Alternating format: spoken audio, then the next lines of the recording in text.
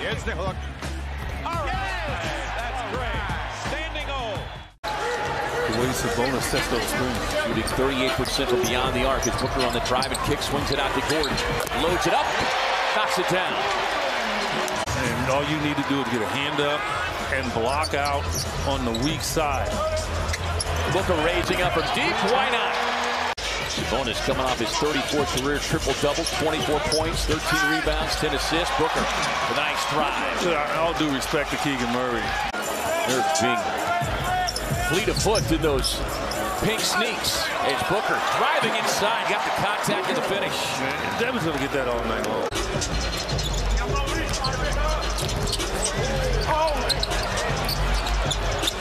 Booker again gets to that baseline jumper.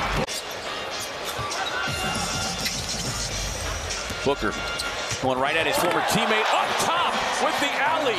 And Mez brings the oop. Suns in transition. Finds a trailing Booker. Stops and hits. Booker takes the handoff. Trying to split the defenders again. Leaks it out. Finds Watanabe, who deposits the triple. Suns on the push. Booker on the drive. Left hand. Yes. He put he put Monk in the torture chamber right there. He knew he was going to get popped if he had went right at him. Booker on the crossover. Gets the contact. Gets it up. Gets the shooter's touch.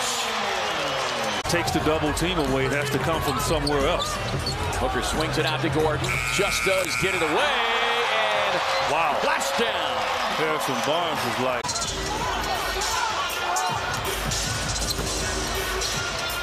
Kicks it to Gordon for the corner. Look, splash down.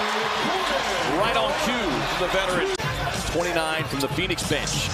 Booker the crossover. Kicks it to Yuta. It's a good look. And with the hit, yeah, Booker anticipating the double. Dribbles away from it. Gets inside with the left hand. Fox over the last seven games shooting 29% from beyond the arc. Book gets the leaner. Number four in the league in scoring. Booker gets a nice screen from Nurkic, able to ride it all the way to the rim. Pocket pass inside to the rolling Nurkic. Beautiful dime from Booker.